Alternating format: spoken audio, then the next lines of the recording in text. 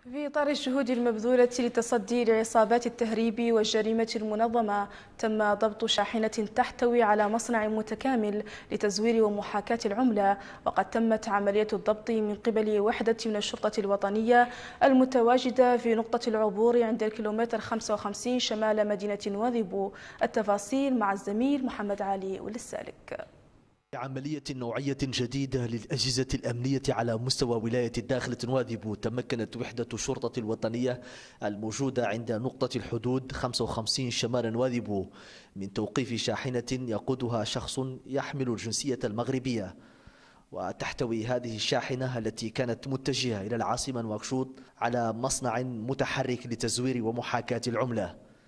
قناة الموريتانية أول وسيلة إعلام تبث صور الشاحنة والمقتنيات التي تحتوي عليها والتي تضم وحدة متطورة لطباعة العملات ومواد كيميائية تستعمل في صناعة العملة وأوراقا لسحب وأجهزة للاتصال ومقتنيات مكتبية أخرى.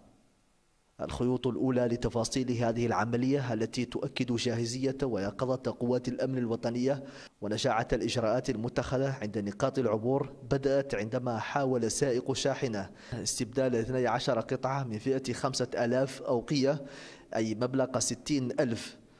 وتبين رغم التحايل العالي الجودة أن هذه الفئات مصورة بعد اشتباه الشرطة في هذه الأوراق وتأكيد الخبراء الفنيين التابعين للبنك المركزي من تزويرها. هذه الأوراق أنا أقول لكم بصراحة أنها أوراق ذات تقنية عالية.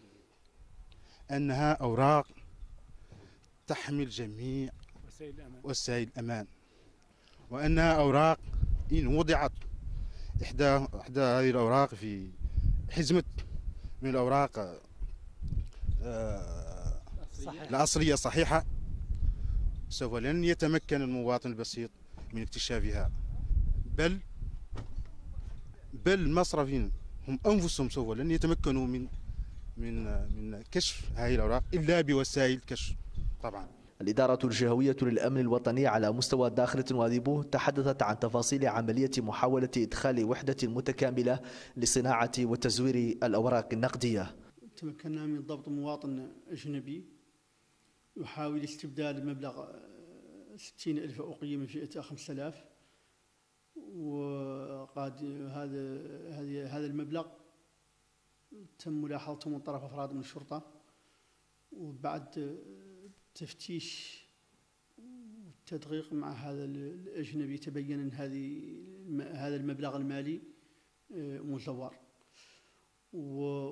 واثناء تفتيش السيارة التي يقودها آه، تبين أن السيارة بداخلها مصنع آه، ربما يستخدم يستخدم في في تزوير العمولات.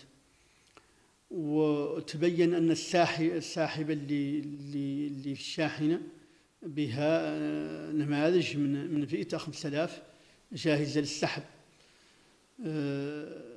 بعد التحقيق معه تبين أن المصنع كان متجه إلى مدينة نواكشوط إلى العاصمه نواكشوط ولمالكه أجنبي آخر. وهذا الاجنبي عندما علم بتوقيف السيارة آه، اتجه إلى الحدود آه، مع الجاره السنغال للفرار وتم ضبطه من طرف الاجهزه الامنيه هناك. والإجراء تم تحويله إلى نواكشوط لإتمام مسطرة في هذا الموضوع. نجاح جديد ينضاف إلى رصيد الأجهزة الأمنية الوطنية التي أثبتت حضورها وجاهزيتها للتصدي لكافة عصابات الجريمة والتهريب التي تنشط على المناطق الحدودية.